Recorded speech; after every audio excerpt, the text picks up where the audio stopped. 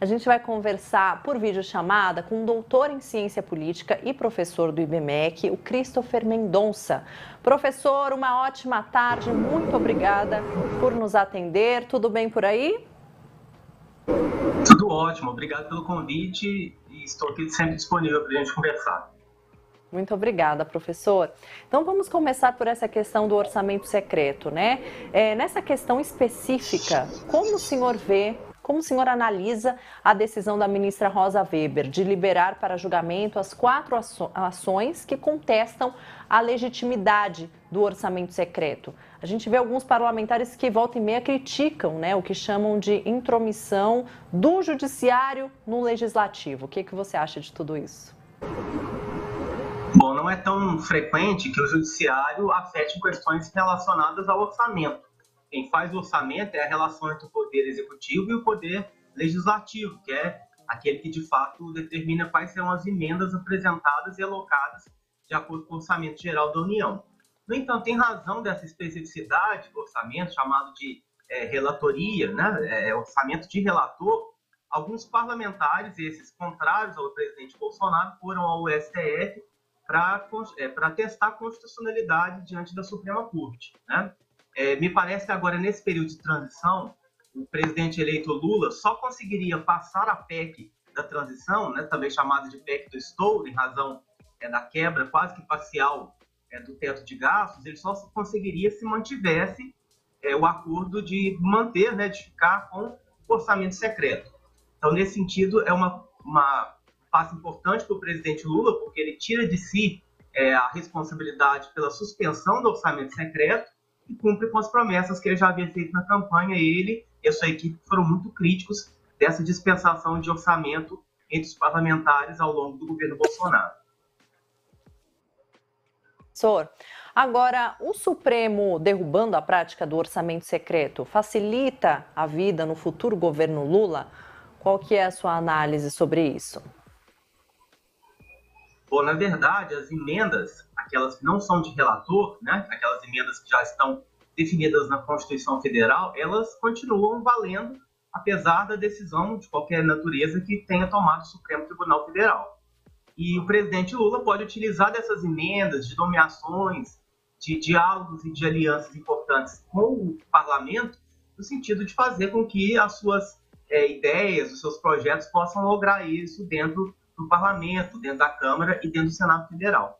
Nós sabemos que Lula não tem maioria ainda né, na sua base para o ano que vem, mas tem construído a partir dessa equipe de transição a possibilidade de que no próximo ano ele consiga pautar, inclusive, algumas reformas importantes, sabendo que aquela parte tão criticada, o chamado centrão, tem a maioria das duas casas e, portanto, vai poder pautar um pouco das decisões que o país vai tomar nos próximos anos.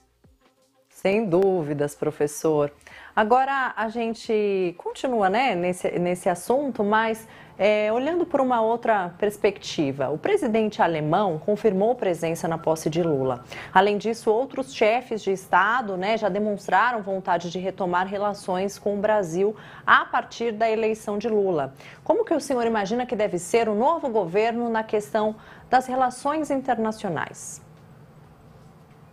Bom, Lula já foi presidente durante oito é, anos, né, dois mandatos consecutivos, foi seguido por sua é, também aliada Dilma Rousseff por outros dois mandatos, e nós já sabemos um pouco quais são as características importantes da política externa do presidente Lula no passado, que muito provavelmente serão é, impressas nesse novo governo. É, Lula tem um perfil muito mais de diálogo com os países do sul global, né, é, países africanos, países é, da América Latina, tem uma relação amistosa com os Estados Unidos, mas não tão é, firme, tão próxima quanto já teve Bolsonaro e Donald Trump.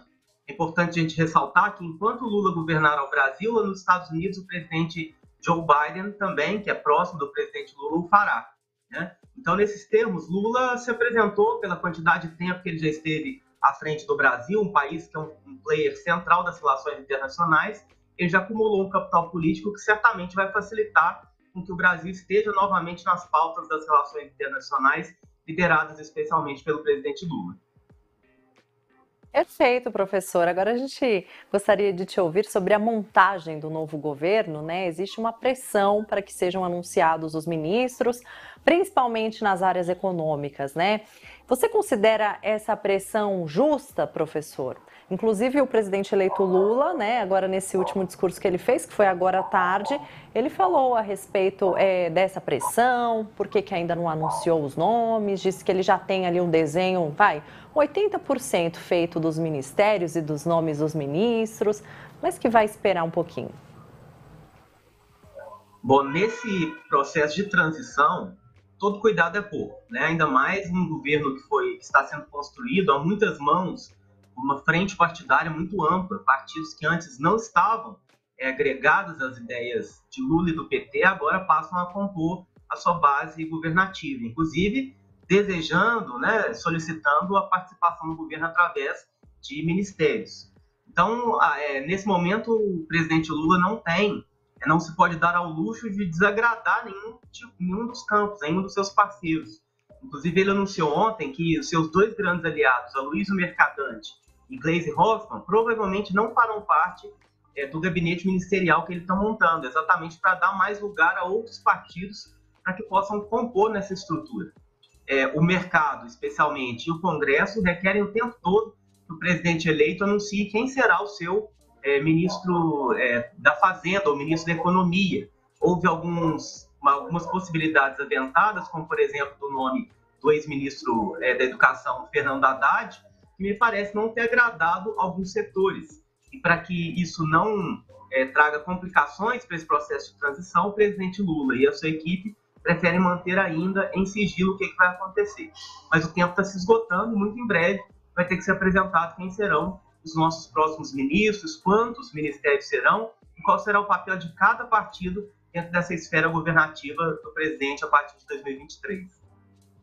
Sem dúvidas, professor. Inclusive, existia é, uma expectativa muito grande para o presidente eleito Lula anunciar né, o ministro da Fazenda ainda nesta semana, mas hoje, sexta-feira, né, ele discursou ali no CCBB e a resposta dele foi essa, né, dizendo que esperar de fato a transição de governos, que ia esperar um pouco, mas a expectativa e a expectativa em cima da fala de aliados, né, ali do, do presidente Lula era de que esse anúncio seria feito ainda nesta semana. Mas estamos aqui, aguardando e observando os fatos.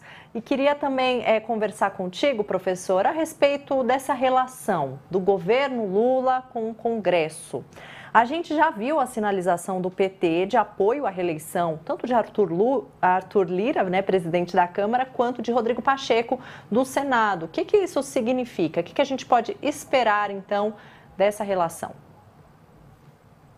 Essas duas cadeiras, a presidência da Câmara e a do Senado, são muito importantes para qualquer governo. Nós já tivemos experiências pretéritas, inclusive durante o governo da presidente Dilma, que essa quebra né, de é, lealdade entre o presidente da Câmara e o presidente da República levaram ao acometimento de um processo de impeachment. Então, todo presidente busca né, ter uma parceria bastante próxima com o presidente dessas duas casas. O Rodrigo Pacheco, que é o presidente do Congresso e presidente do Senado, é o candidato do PT para se manter no cargo. E parece que ele está andando muito na frente, já fez algumas é, posturas importantes, porque ele está com a caneta na mão, então ele tem a máquina do Senado em seu favor e tem é, debatido com algumas bases importantes e me parece que, inclusive, ele já tem conseguido apoio de diversos partidos. No Senado haverá também é, um representante que está sendo é, veiculado pela, pela imprensa, que é o Rogério Marinho, ex-ministro do presidente Bolsonaro e que foi eleito recentemente pelo PL, que vai, ser, vai disputar essa vaga com o Rodrigo Pacheco. Na Câmara, parece que Lira é quase uma unanimidade. Né? É, que os partidos têm apoiado, inclusive o PL, o PP, partidos da base bolsonarista, estão apoiando a recondução de Arthur Lira, que fez uma parceria muito importante com o Jair Bolsonaro, que não me parece um aliado tão claro de Lula. No início do mandato é muito fácil de ser parceiro do governo, mas ao decorrer do, do, do mandato, essa parceria vai se desvinculando, vai se desgastando. Seria ideal que o presidente Lula tivesse lá alguém é, mais alinhado ao PT, mas eu acho que não será possível. Sim. Muito obrigada, Christopher Mendonça, professor do IBMEC, cientista político. Até uma próxima, professor. Um abraço. Um abraço, até a próxima.